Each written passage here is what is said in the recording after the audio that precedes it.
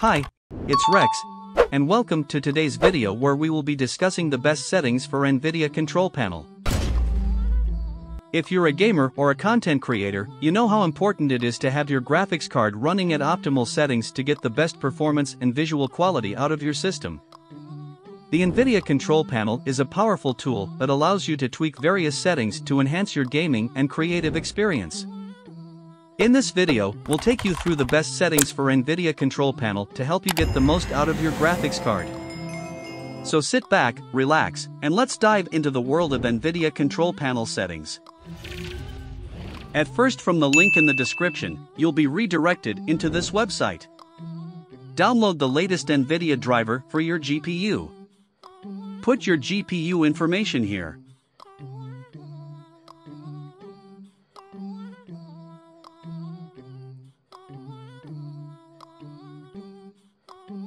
Okay here, if you're a gamer use Game Ready driver. And if you're a content creator use the Studio driver. Then start search.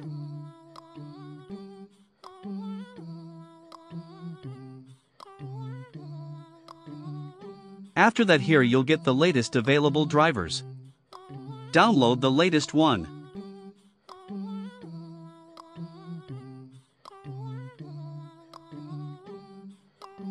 And then simply install it.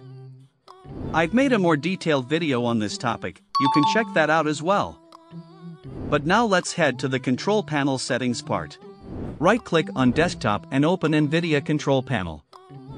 Press on adjust image settings with preview. Check use advanced 3D image settings.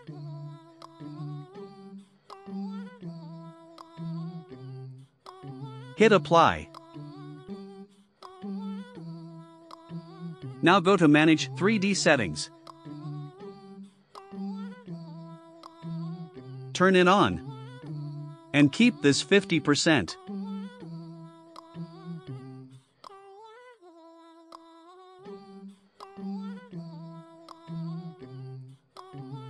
You can check this if you want an overlay showing on the top right corner of your screen. Ambient occlusion to performance.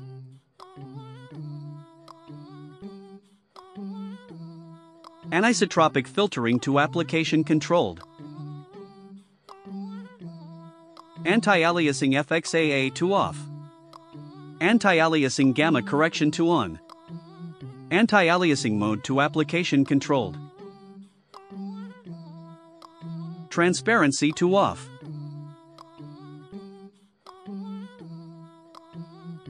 Max frame rate to off.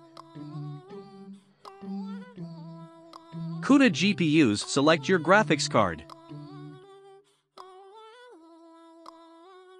You can use this option to enjoy more resolution even if your monitor doesn't support it, I mean even if you have an HD monitor you can use this setting to get 4K output in any game.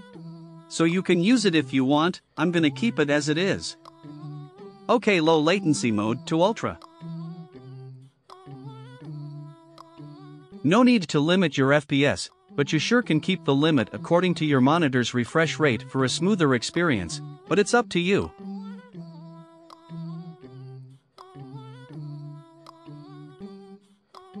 OpenGL rendering GPU to your graphics card. Power management mode to prefer maximum performance. Keep this one default. Turn this option on. Keep this one as it is. And the quality to high performance. Trilinear optimization should be on. Threaded optimization to auto. Triple buffering to on. Keep VSync as it is. This one should be default as well. That's it. Now apply. And now the Configure Surround and PhysX tab. Select your GPU in here. Then hit Apply.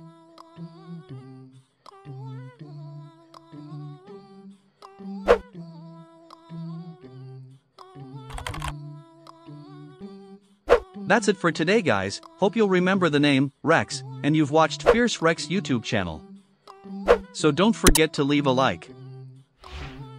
And with all due respect, love your parents, respect your country, and most importantly, take care of yourselves. See you in another video, till then.